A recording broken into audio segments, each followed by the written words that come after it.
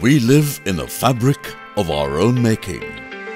India is one of the world's largest textile producing countries and textile exporters. The domestic apparel and textile industry in India contributes 2% to the country's GDP, 7% of industry output in value terms, and 15% to the country's export earnings. Tamil Nadu has a strong base in hosiery and home textiles, contributing 19% of national textile output, one third of the national textile business, 40% of total yarn production in India, 60% of total spinning mills in India, and 12% of India's export earnings. Technical textile centers for Meditech, Home Tech, and Indutech located in Tamil Nadu. A new and exclusive department for the textile and clothing industry, named Department of Textiles, has been formed on the 23rd of October 2021, mainly to address and satisfy various exigencies of the textile industry with a thrust for technical textile products. To contribute the vision of the Honorable Chief Minister of Tamil Nadu to make Tamil Nadu a $1 trillion economy by 2030, Technical textiles is a fast-growing sub-segment based on the product specifications and end-use applications. The technical textiles is grouped under 12 segments.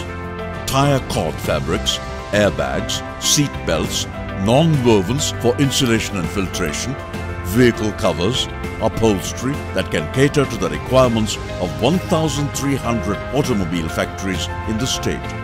With the emergence of Defence Industrial Corridor and 120 plus aerospace component manufacturing companies which can supply defence requirements such as bulletproof vests, camouflage fabrics, chemical and thermal protective clothing, and parachute fabric.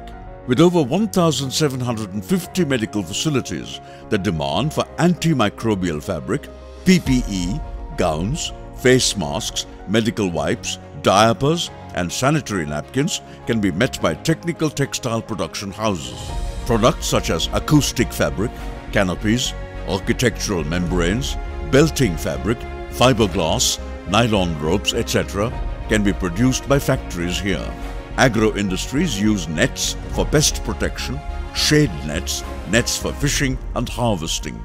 Tamil Nadu has four international and three domestic airports, four seaports, 6,800 kilometers of railway track, more than 200,000 kilometers of concrete roads. The technical textile sector is earmarked as the sunrise sector. Government offers many incentives and other facilities through Industries Department, MSME Department and Textile Department. The Textile Department introduced Mini Textile Park scheme to encourage small and medium entrepreneurs the government announced textile export hubs in Tirupur, Kanchipuram and Karur.